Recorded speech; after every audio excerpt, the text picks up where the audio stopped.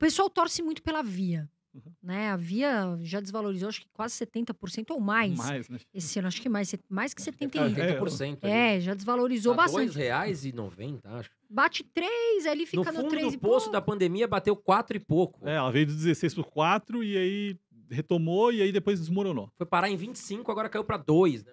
Absurdo. E aí os, 90% de queda. Exatamente. E aí os analistas, eles ficam muito em dúvida. Eu vejo alguns falando que vale a pena comprar Via e outros que não. O que, que você acha do case Via? Você acha que vai melhorar a longo prazo? Você gosta? Eu gosto, tá? É é uma das posições que eu defendo, que eu tenho nas, nas carteiras recomendadas. E o porquê? É, se você comparar, se você pegar a empresa, ah, 2018 ali, quando ela era uma empresa puramente virtual, é, física, né? Então, assim, 92% da- das vendas vinham do, do varejo físico, das lojas.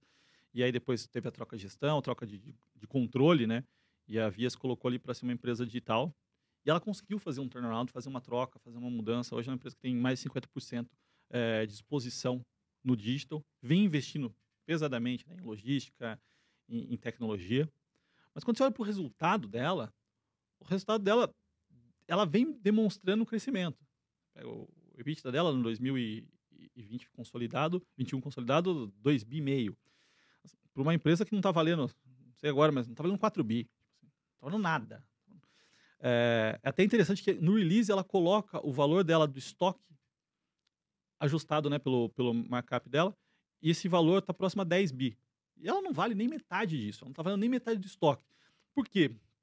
Porque teve uma- essa onda no mundo as das empresas de tech e de crescimento começarem a cair em função de aumento de juros lá fora. Então, assim, e aí o investidor olha tudo como um saco de gato só. Ele não quer saber o que, que é, ele quer saber, ó, é tech, é tecnologia, beleza, vamos bater. E aí a gente começou a assistir a queda das, das- dessas empresas aqui. A característica das empresas de crescimento, né, de growth é, pesado, é ter múltiplos altos. Né? Você negociava 100, 150 vezes. Você olhava Magalu, Magalu teve momentos ali que estava sendo negociada 100 vezes é, EBITDA. Então, assim, era alto, era um múltiplo alto. Nesse movimento de queda e dessas ações e do, do aumento de juros lá fora, fazia sentido a queda. Quando você pegava a Via Varejo, estava sendo negociada a 10, 12 vezes EBITDA. Hoje ela está sendo negociada a 4, 5 vezes. Nível de, de vale, de commodities, não faz sentido nenhum. Ah, então o investidor colocou tudo no mesmo saco e bateu. Aí, no resultado do. Não sei se foi no quarto trio, no terceiro trio no ano passado, vieram os passivos trabalhistas. Trabalhistas, É. E ali era um. Assim, tem um, algo material, de fato, mas era da gestão passada, era de 2016 para para baixo. Teve uma mudança na- nas condenações. De acordo, depois a- da, da pandemia, as pessoas começaram a, a ir mais para a justiça, pegar casos antigos, e a justiça começou a ser mais rápida. Então teve um aumento ali material. Ah, e isso pegou. Assim, mas quando você olha, fala, ah, quando você olha para a empresa, tem um impacto sim, mas a gente não está falando da empresa que é hoje. A empresa hoje não tem esse tipo de problema. Além disso, né, ela tem um benefício fiscal, umas amortizações que ela tem que fazer eh, de passivos, que ela consegue quase que netar esse resultado. Então, ela consegue pegar esse- esses passivos e anular com, com algumas coisas, com umas questões tributárias que ela tem. Então, quando você olha para a geração de caixa da empresa, mesmo com no ano passado foi um bi, ela conseguiu não queimar a caixa com esse movimento, porque ela conseguiu anular isso aí com, com alguns ah, passivos que ela tinha lá para abater. Então, assim, então não é o final do mundo. Que o mercado precificou, assim, o que está implícito na Via Varejo, é praticamente uma quebra, insolvência. Assim, e não é isso de longe, de longe. Assim, não tem, na minha visão, assim, tá, tá muito errado. Só que o, o mercado e o investidor, ele tem aquela questão de, tipo, entra na moda. Ah, ah, de um dia para o outro a gente começa a falar de tech. Em março de 2020, vir- tech virou a bola da vez. Aí todo mundo fala de tech esquece o resto. Aí nesse momento a gente virou e-commerce e tech, ninguém quer, e a Via Varejo está horrível. Assim, e ninguém nem olha. Assim, no final das contas, assim, olhar para valer balanço ali, ver os números do, do que está acontecendo, ninguém entrou no detalhe. Então, assim, tá muito amassada. Para mim, é uma das, uma das ações mais Fala pessoal, aqui é o Alan do Cortes Investimento. Venho pedir a todos que gostam do canal para se inscrever e deixar aquele like na confiança. Contamos com vocês e bora continuar o vídeo. descontadas na bolsa hoje. E você acha que Magazine Luiza, por exemplo, ou outra empresa, cheguei até a ouvir falar em lojas americanas, que poderia comprar a Via no preço que tá. O que, que você acha disso, Rafa? Eu acho que faz todo sentido. porque Tá tão, assim, não, não vale um bi de dólar. Assim, quem que vai querer entrar no Brasil? muita gente fala, ah, as concorrentes, as gringas estão entrando.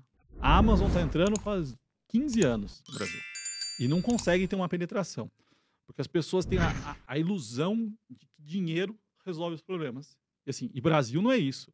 Operar em Brasil, você tem que conhecer muito bem isso aqui. Sim. Que é um mercado mais volátil, né? Muito mais volátil que eu, que a Bolsa dos Estados Não, mas Unidos. digo, né? a, A operação do Rafa dia a dia. dizer, a operação do É, dia a não, dia. sem você. A logística, Sim, entrega, impostos, tudo isso. E pensa assim, ó, eu acompanho ó, a B2W, vai que está muito tempo nesse mercado. 2011, 12, 13, ela tinha um problema difícil ali, que era a questão de roubo. Assim, e era roubo em rodovia e roubo dentro do CD. E aí você imagina o gringo tentando entender a dinâmica de roubo. Não, peraí, a Amazon vai fazer uma reunião para entender a dinâmica de roubo em rodovia e para entender, entender a dinâmica de roubo dentro dos próprios CDs.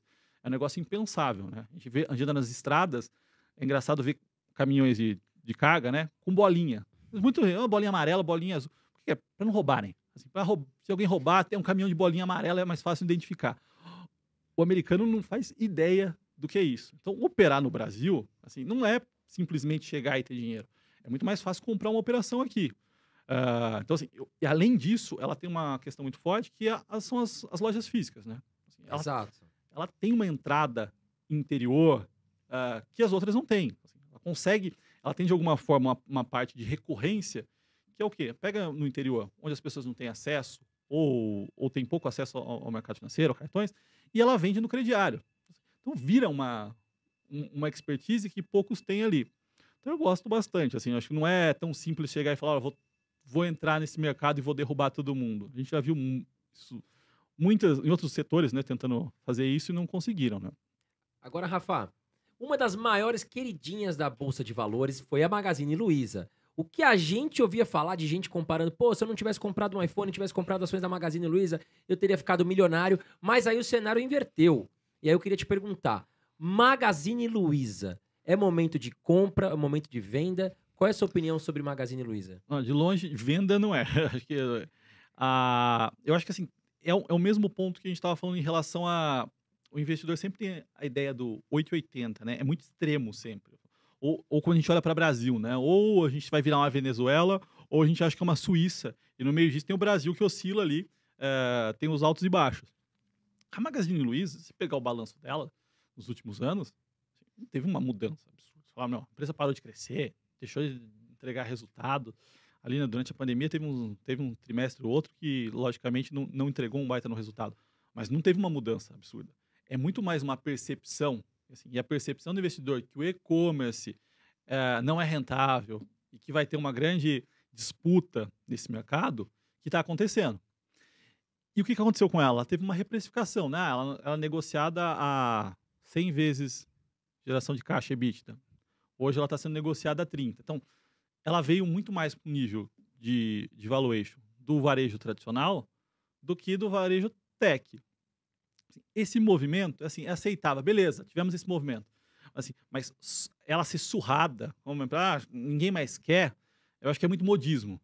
E aí o investidor tem que sempre se atentar, né? A questão do... é, de não entrar Dessa em modismo. onda, né? Porque É vira, onda. vira uma onda. Ah, não. Foi o que o André falou. Vou comprar agora. De repente a empresa passa um momento, não é que vai quebrar, um momento mais delicado, daí todo mundo quer vender. É igual agora, Mas a a bolsa tá cai. bem, né? É, tá é, bem. aí passa por uma fase que, né, que tá sendo, rece... igual ele falou, reprecificada. E aí, desculpa, gente, que palavra difícil, né? Reprecificada. É, e aí o investidor simplesmente quer vender a empresa, ele não sabe o porquê. Foi o que o Tá Rafa falou. onda, né, Rafa? né, não A pega o Magazine Luiza continua relatório. entregando resultado, vem comprando empresas gigantescas como Kabum, é, canais Jovem Nerd, né? bio, é, é, é, tem empresa de cosméticos lá dentro, esqueci o nome agora, Eu mas, também não lembro do nome, eu sou um nome mas horrível para nome. fantástico a empresa que tem de cosméticos lá dentro. É uma baita empresa, continua entregando resultado, né, Rafa? A questão foi o que você falou. É, varejo, subiu juros, o pessoal acha que o varejo acabou, ninguém mais vai comprar, a economia vai entrar em recessão e vai, realmente, mas amassaram a cotação da empresa, né, Rafa? Sim, é, exatamente. É, é a questão é o que está implícito no preço, né? Por isso que o investidor tem, tem que muitas vezes entender por que ele compra a ação. Porque se ele sabe por que ele compra, ele sabe por que ele teria que vender. Então, Assim, ah, eu comprei por tais motivos, mudança de gestão para entregar resultado. Assim, é hora de vender? Bom, mudou alguma coisa dessa? Mudou, tipo, drasticamente. A empresa trocou de controle e o controle agora é péssimo.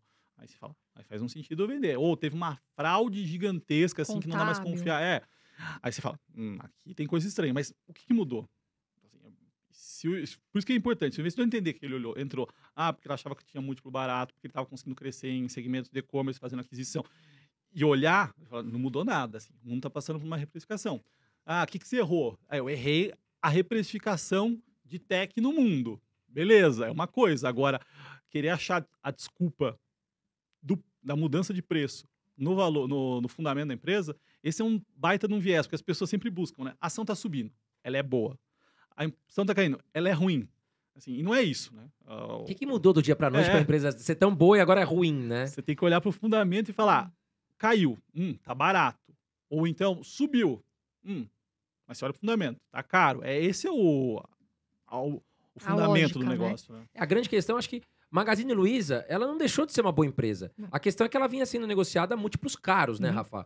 Porque ela caiu tão no gosto da galera. Muito investidor iniciante comprando Magazine Luiza, comprando Magazine Luiza, a cotação foi parar nas estrelas. E aí, o que acontece foi uma correção. Mas depois da correção, amassaram a empresa, né? Ou seja, ela não ficou na correção. Abaixaram mais ainda, né? Sim. Deram uma porrada nela pra baixo.